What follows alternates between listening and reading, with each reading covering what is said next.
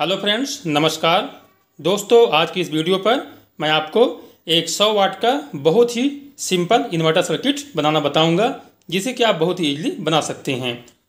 इसके लिए आपके पास इस प्रकार से एक 12 वोल्ट का ट्रांसफार्मर का होना ज़रूरी है। मेरे पास दोस्तों, यह एक 12 वोल्ट का ट्रांसफार्मर है।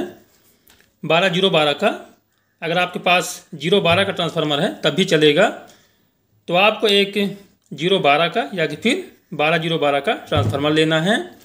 इसके अलावा मेरे पास एक पंखे का कैपेसिटर है। इसका वैल्यू भी आप देख सकते हैं। अब दोस्तों, इसके अलावा मेरे पास एक बारह वोल्ट का रिले है, जिसे कि मैंने एक ख़राब इन्वर्टर बोर्ड से निकाला हुआ है। इसके अलावा मेरे पास दोस्तों ये सौ वाट का बल्ब है, जिसे कि मैं आपको चलाकर दिखाने वाला हूँ। मैं किसी प्रकार का मॉसपेट किसी प्रकार का ट्रांजिस्टर यूज़ नहीं करूँगा। केवल दोस्तों इतने ही पार्ट्स का यूज़ करके मैं आपको एक सिंपल सा सौ वाट का जो इन्वर्टर सर्किट है बनाना बताऊँगा। इसके अलावा हमारे पास इस प्रकार से एक होल्डर होना चाहिए और आपको दोस्तों होल्डर पर ये जो दो वायर है, आपको इस प्रकार से लगा लेना है। अब आपको क्या करना है, सबसे पहले इस होल्डर का ये जो वायर है इस ट्रांसफार्मर का यह सेकेंडरी है। और यह दोस्तों इसका प्राइमरी है, जहाँ की हम 220 वोल्ट एसी सप्लाई देते हैं। तो हमें इस प्राइमरी वाले पॉइंट पर यह जो होल्डर का दोनों वायर होगा, हमें दोस्तों लगा देना है।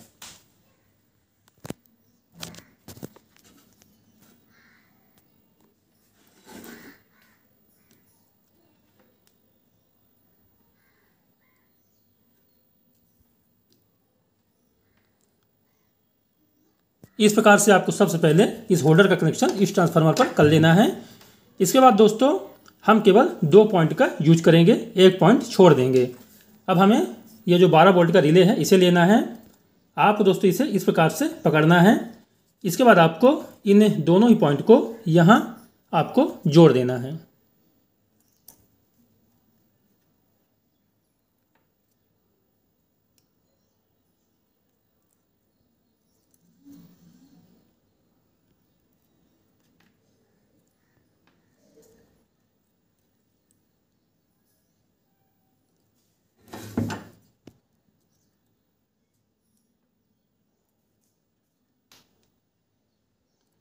तो आपको दोस्तों इस प्रकार से जो रिले का दोनों पॉइंट हैं, आपको इस प्रकार से इसका जो कनेक्शन है आपको कर देना है।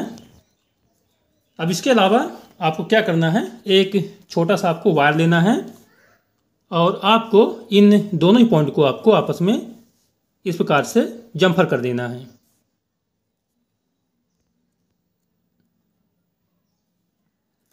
आपको दोस्तों इस प्रकार से इन दोनों पॉइंट को जम्फर कर देना है। इसके बाद आपको कैपेसिटर को लेना है। इसके बाद हम इस कैपेसिटर का एक पॉइंट, कोई भी एक पॉइंट यहाँ सोल्डिंग करेंगे। और इसका जो दूसरा वाला पॉइंट होगा कैपेसिटर का, हम दोस्तों यहाँ इस पर इसे सोल्डिंग कर देंगे। तो हमारा जो इन्वर्टर है, सिंपल सा, जो सौ वाट का सिंपल सा इन्वर्टर है तो दोस्तों बन चुका है। अब हम क्या करेंगे कि दो वायर अलग से और लेंगे। बारह वोल्ट जो बैटरी है उसका कनेक्शन करने के लिए तो हम दोस्तों एक वायर, ये जो ग्रीन वायर है, जो कि बैटरी के निगेटिव में जाएगा, उसे हम यहाँ जोड़ लेते हैं। इसके बाद दोस्तों हम इस बीच वाले पॉइंट पर, जो रिले का बीच वाला पॉइंट है, यहाँ हम एक वायर जोड़ लेते हैं, जहाँ कि हम 12 वोल्ट बैटरी का पॉजिटिव वाला जो कनेक्शन होगा करेंगे। तो दोस्तों हमारा सिंपल सा जो इन्वर्टर सर्किट है, बन चुका है। अब मैं दोस्तों आपको इसे बैटरी से चलाकर भी दिखाता हूँ। अब दोस्तों मेरे पास ये 12 वोल्ट की बैटरी है। दोस्तों ये बैटरी फूल चुकी है। आप देख सकते हैं ख़राब हो चुकी है, इसलिए मैं, मेरे पास ये जो सोलर का वायर है तो दोस्तों मैंने इसे सोलर से जोड़ा हुआ है। अब मैं आपको 12 वोल्ट सप्लाई देकर इसे चलाकर दिखाता हूँ। तो हम दोस्तों सबसे पहले क्या करेंगे कि मेरे पास ये जो एक पंद्रह वाट का बल्ब है, एक सौ वाट का बल्ब है। तो दोस्तों, मैं आपको सबसे पहले इस पंद्रह वाट के बल्ब को चलाकर दिखाऊँगा। इसके बाद आपको मैं सौ वाट का बल्ब भी चलाकर दिखाऊँगा। अब दोस्तों, हम इस ग्रीन वायर को यहाँ बैटरी के इस नेगेटिव वाले वायर के साथ में जोड़ देंगे। अब दोस्तों, यह जो बैटरी का पॉजिटिव वाला वायर है, अब दोस्तों, हम जैसे ही इसे टच करेंगे, आप बल्ब को देखिएगा।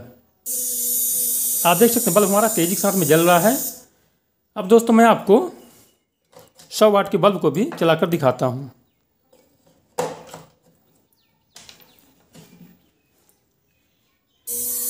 आप देख सकते हैं, सौ वाट का बल्ब भी हमारा जल रहा है।